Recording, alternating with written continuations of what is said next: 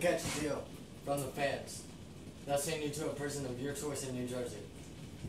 Where's Kyle Murphy? You didn't take him back to the woods? You threw him in the Delaware River? He could be anywhere. We may never find him.